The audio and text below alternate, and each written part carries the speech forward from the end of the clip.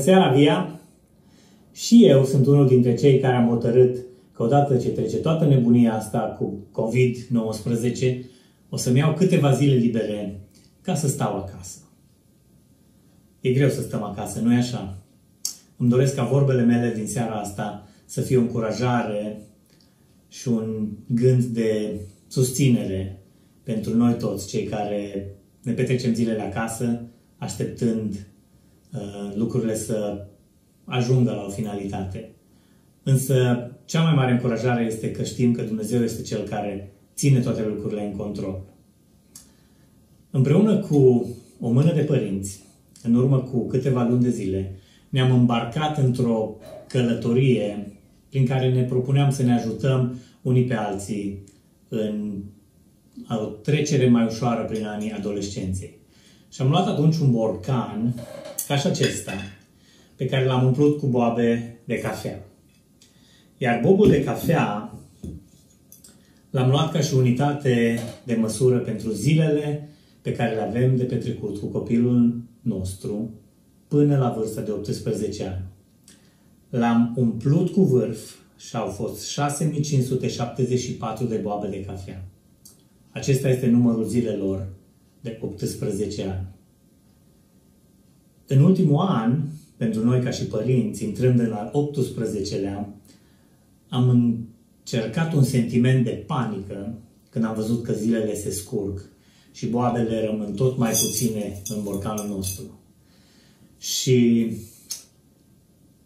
ca și un cadou din partea celui care ține în mână tot, am primit niște zile un pic mai altfel, acum când ne apropiem de împlinirea celor 18. Am primit niște zile mai mari, mai grase, mai pline de timp, forțați cu toții la oaltă.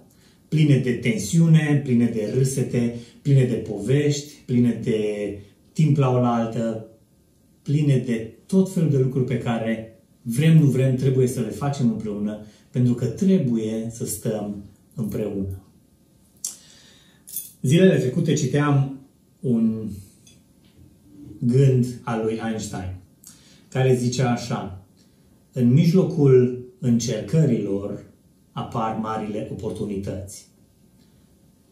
Și raționamentul m-a făcut să mă duc un pic mai departe. În mijlocul încercărilor. Nu la început, nu la sfârșit, ci în mijlocul lor.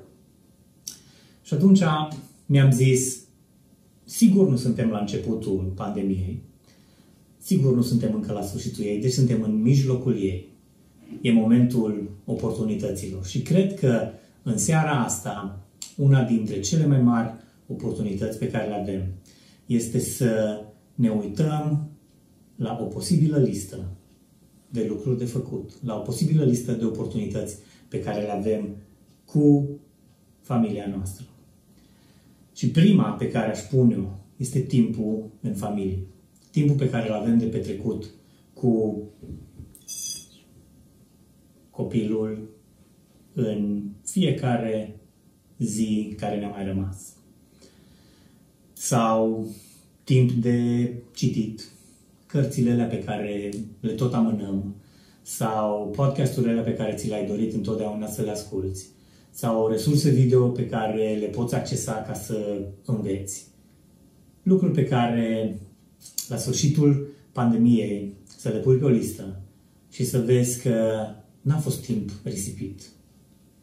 Sau un alt lucru pe lista noastră ar putea fi uh, hobby-uri, lucruri pe care îți place să le faci și acum ai timp să ți le dezvolți.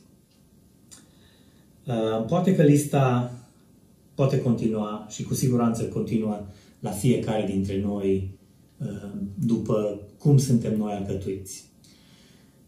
Dar nu știu cum de în fiecare încercare prin care am trecut sau în fiecare criză prin care Dumnezeu ne-a trecut, îmi vine în minte mereu pasajul din 1, 1 Tesaloniceni 5.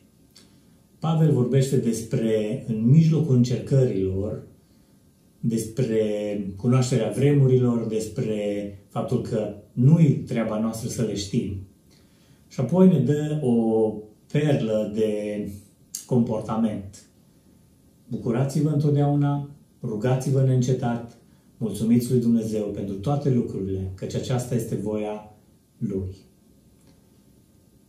V-aș provoca în seara asta la prima din lista de oportunități pe care am pomenit-o. La un timp de rugăciune pentru copiii noștri. Pentru unii dintre noi, boabele sunt foarte puține rămase în borcan. Pentru alții, boabele sunt numeroase. Depinde de fiecare dintre noi cum profităm de aceste boabe, de ce facem cu ele. Pentru că timpul oricum trece, ziceam noi mai de mult. Dar cum trece? Oricum? V-aș provoca să scrieți un nume, un prenume. Fie pe chat, dacă sunteți pe YouTube, fie pe comments, dacă sunteți pe Facebook. Un prenume de copil pentru care să ne rugăm și să ne petrecem următoarele minute rugându-ne pentru copiii noștri. Pentru că vom trece prin pandemia asta. Lucrurile vor ajunge la o nouă normalitate, probabil. Vom trece și vom ajunge schimbați. Dar vom ajunge așa pentru că toate lucrurile sunt în mâna Dumnezeului nostru, inclusiv copiii noștri pe care vrem să-i punem în mâna Lui. Haideți să petrecem timpul rugăciune și dați-mi voie să încep eu. Doamne Tată, vin înaintea Ta și vreau să-i aduc înaintea Ta pe pruncii noștri, pe copiii via. Atât pe cei mici, proaspăt născuți, cât și pe cei care se apropie de vârsta adultă. Mă rog ca numărul boabelor din viețile lor să fie cheltuite semnificativ. Mă rog ca timpul petrecut în familie, acum, să fie unul de apropiere, de ruperea lanțurilor, de uh, comunicare, de tensiune, de râs, de joacă, de învățare, de tot ceea ce merită pus în zilele astea. Mă rog, Doamne, să ne ajuți să știm cum să gestionăm aceste evenimente în fața lor. Și dacă îngrijorarea noastră este mare și frământarea noastră este profundă, cu atât mai mult copiii noștri care înțeleg poate mai puțin au nevoie de atingerea ta și de înțelepciunea noastră. Te rog să ne dai astfel încât să știm, să ne trăim fiecare bob cu prețuire și cu valoare. Și îți mulțumesc că suntem în mâna ta și că orice vine peste noi este de la tine, că îți pasă de noi și îți pasă de pruncii noștri. Îți mulțumim în numele Lui Hristos. Amin.